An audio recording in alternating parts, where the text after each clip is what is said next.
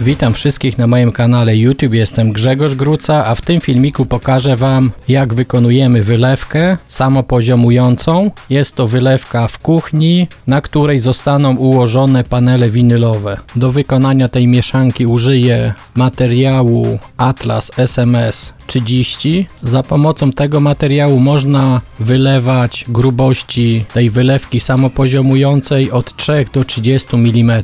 W moim przypadku różnice poziomów wahały się od 2,5 cm do 12 mm.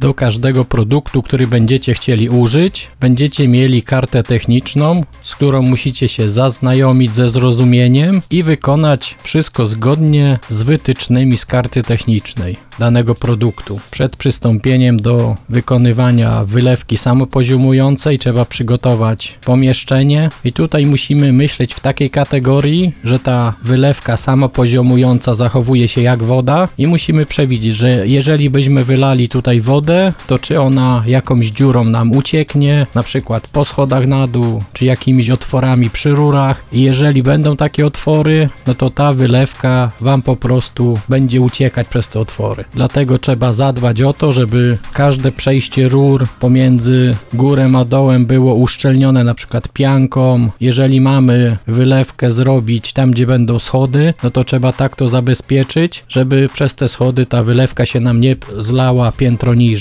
W moim przypadku będę zrównywał tą wylewkę równo z panelami podłogowymi w salonie i tutaj chodzi o to, że jak będę układał panele, no to bez progu tymi panelami przejdę do dużego pokoju i tam też ułożę tego samego rodzaju panele. Wylewkę tą można używać tylko wewnątrz budynku. Podłoże trzeba wstępnie wyrównać. Chodzi o to, że jak będą jakieś większe ubytki w materiale, to trzeba to wyrównać, żeby grubość tej wylewki nie przekraczała w moim przypadku 30 mm.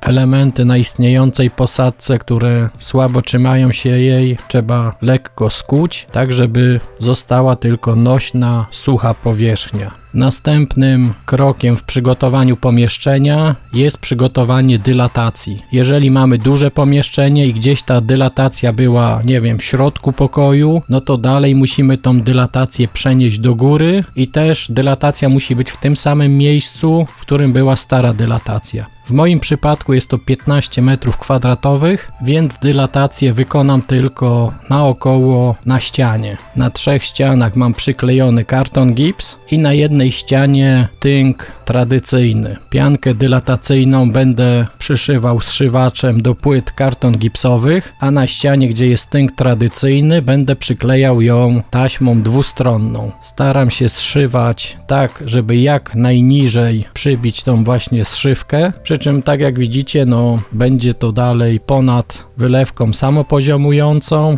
i przykryte to będzie dopiero listwą wykańczającą do paneli podłogowych. Przystąpiłem do gruntowania podłoża. I tutaj bardzo ważna sprawa, jeżeli pominiecie ten punkt, no to ta podłoga, która jest sucha, bardzo szybko wyssie jak gdyby wodę z waszej wylewki samopoziomującej i może się zdarzyć, że ten samopoziom się nie wyrówna, ponieważ wilgoć zostanie wciągnięta i ta wylewka bardzo szybko stwardnieje. Dlatego tutaj ja nie żałowałem podkładu gruntującego. Tak jak widzicie, dość obficie wcierałem go w posadzkę. Użyłem tutaj zwykłego podkładu gruntującego Unigrunt. Jeżeli macie takie bardzo chłonne powierzchnie, no to warto je zużyć podkładu Unigrunt Plus przed gruntowaniem w ogóle powierzchni musicie się upewnić, że ta posadzka czy beton jest odpowiednio wysezonowany. Wszystkie informacje znajdziecie w karcie technicznej produktu, dlatego warto sobie taką kartę wydrukować i przed snem przeczytać, żeby być pewnym, że czegoś wam tam nie odparzy po pewnym czasie.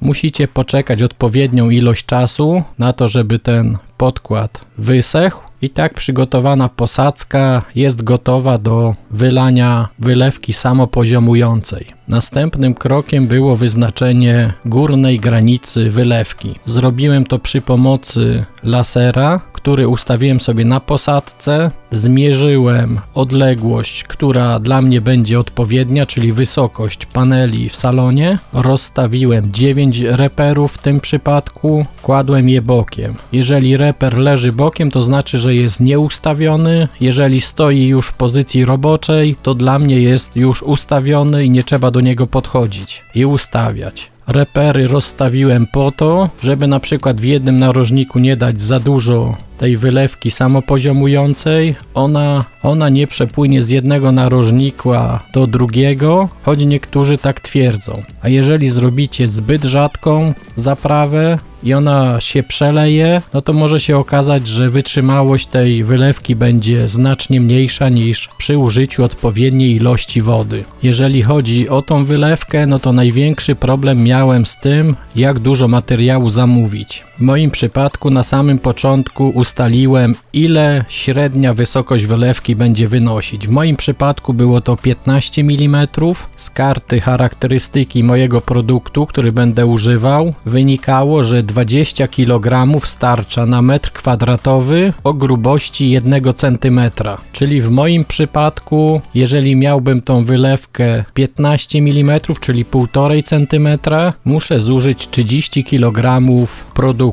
Pomieszczenie, w którym będę wykonywał tą wylewkę ma 15 metrów kwadratowych, czyli musiałem sobie przeliczyć 30 kg razy 15, co dało mi 450 kg produktu. Jako, że jeden worek jest 25-kilowy, no to te 450 musiałem podzielić przez 25 kg i wyszło mi 18 worków. Ze sprzedawcą w sklepie umówiłem się, że wezmę więcej materiału. W tym przypadku wziąłem 3 worki więcej, czyli 21 worków i że jeżeli zostanie, no to 3 worki zwrócę. Będę miał możliwość zwrócenia tego produktu. No i to jest to, jak ja przygotowałem sobie ilość materiału.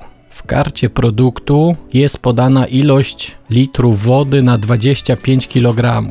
W moim przypadku była to wartość między 5 litrów a 5,5 litra na 25 kg. Przygotowałem sobie dwa wiaderka, w których zaznaczyłem odpowiednią ilość i jedna osoba była odpowiedzialna za dostarczenie wiaderka z zaznaczoną ilością wody. Po wymieszaniu produktu z odpowiednią ilością wody dobrze jest wykonać test rozlewalności materiału. Zgodnie z wytycznymi z karty technicznej możemy rozlać pół litra albo 1 litr rozmieszanego materiału na płaską, niechłonną powierzchnię, na przykład folię.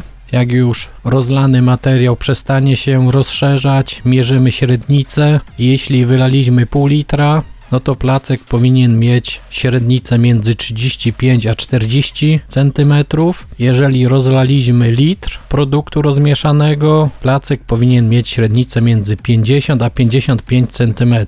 I tutaj Wam podpowiem, jeżeli robicie to pierwszy raz i macie takie pomieszczenie jak u mnie, no to musicie mieszać przynajmniej na 4 albo 5 wiader. Teraz Wam powiem, dlaczego tak to sobie wymyśliłem. W specyfikacji produktu jest napisane, że po 5 minutach trzeba produkt przemieszać na nowo. I tutaj kalkulacja jest prosta. Gdybym musiał czekać 5 minut na to, że ten materiał będzie przemieszany drugi raz i miałbym tylko jedno wiaderko, no to okazałoby się, że 18 worków razy 5 minut, no to mamy 90 minut. A na wykonanie wylewki w jednym pomieszczeniu przy tym materiale mamy tylko 40 minut. Dlatego ja użyłem czterech wiader. Po wymieszaniu produktu w pierwszym wiadrze zacząłem mieszać od razu produkt w drugim, trzecim i czwartym i teoretycznie zaczynałem mieszać tym pierwszym, czyli procesowe drugie mieszanie i w tym pierwszym wiadrze był już materiał gotowy do wylania. Podejrzewam, że gdyby był sprytny zespół, to z sześcioma wiadrami spokojnie dałby sobie radę. Wykonywanie takiej wylewki nie może być robione w gumowcach, ponieważ powierzchnia gumowca jest tak duża, że będziecie oddzielać materiał, który wiąże już z posadzką. I może się okazać, że taka posadzka będzie pękać, pękać albo się będzie odspajać od podłoża. Na buty trzeba założyć specjalne kolce, które punktowo będą się stykać z podłożem, na której wylewamy wylewkę samopoziomującą. I tutaj dobrze, żeby jedna osoba przygotowywała wodę, odpowiednią ilość, dwie osoby mieszały materiał i czwarta osoba odpowietrzała i zajmowała się rozprowadzaniem wylewki. Jeżeli chodzi o rozlewanie materiału, no to trzeba to robić takimi pasami, żeby jeden wylany pas łączył się z drugim. Jeżeli wysokość wylewki dotknie wyznaczonej powierzchni na reperze, no to oddalamy się z tego miejsca, zalewając dalsze miejsca po mieszczeniu. Nam udało się wylać te 18 worków w około 30 minut i zostało nam 10 minut na odpowietrzenie posadzki, zebranie reperów. Jeżeli chodzi o mieszadło, no to zaopatrzcie się w mieszadło do wylewek samopoziomujących. Ponieważ jeżeli użyjecie innego mieszadła wysokoobrotowego ze złą końcówką, no to bardzo mocno napowietrzycie ten materiał i potem będziecie musieli poświęcić dużo czasu, żeby go odpowietrzyć. Jeżeli chodzi o pielęgnację takiej posadzki samopoziomującej, no to ja jak tylko jest możliwość wejścia na taką posadzkę, rozkładam folię i powoli ta posadzka sobie dojrzewa. Nie bawię się w zraszanie, tylko ta folia na tyle utrzymuje wilgoć tej posadzki, że ta posadzka powoli schnie. Według karty technicznej można wchodzić po 4-6 godzinach już na taką posadzkę, ale ja daję jej troszkę więcej czasu, tak żeby po prostu nie uszkodzić powierzchni tej wylewki. W moim przypadku metr kwadratowy wylewki wysoki na 15 mm kosztował mnie 55 zł i tu jest koszt materiału i gruntu. Nie liczę robocizny, ponieważ zrobiliśmy to samodzielnie. Jeżeli chodzi o wałek do odpowietrzania, no to, to trzeba mieć wałek z kolcami wiele dłuższymi niż grubość wylewki. Jeżeli weźmiecie zbyt niski kolec na wałku, no to okaże się, że będziecie przepychać tą wylewkę z jednego miejsca na drugi. I nie będzie to odpowietrzanie, tylko przepychanie z jednego kąta w drugi. W tym filmiku pokazałem Wam, jak gospodarczą metodą wykonać wylewkę samopoziomującą. Jeśli zauważyliście, że coś mógłbym poprawić albo coś robię źle, to proszę napiszcie to w komentarzu, będę bardzo wdzięczny. To tyle w tym filmiku. Zapraszam na inne moje filmy i do zasubskrybowania mojego kanału. Cześć!